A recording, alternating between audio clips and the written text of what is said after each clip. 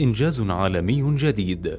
أبو ظبي تشهد إكسبو 2019 مركز أبو ظبي للتعليم والتدريب التقني والمهني أعلن عن فوزه بتنظيم الملتقى العلمي العالمي إكسبو 2019 في دورته السابعة عشر. يتوقع مشاركة نحو 1500 من شباب العالم المبدع. ممن تتراوح أعمارهم من 9 إلى 25 عاما وهم يمثلون نحو 65 دولة منها كوريا الجنوبية والولايات المتحدة الأمريكية وفرنسا واليابان. سوف يتم استعراض أحدث المشاريع العلمية خلال الملتقى في مجالات العلوم والتكنولوجيا والهندسة والرياضيات والفنون. كما يتضمن الملتقى مؤتمرا للمسؤولين وصناع القرار المعنيين بقضايا التعليم والتدريب التقني والمهني ومؤتمرا للشباب يتم التعرف من خلاله على أحدث تجاربهم العلمية ويشير هذا الإنجاز إلى ثقة العالم في دولتنا الحبيبة.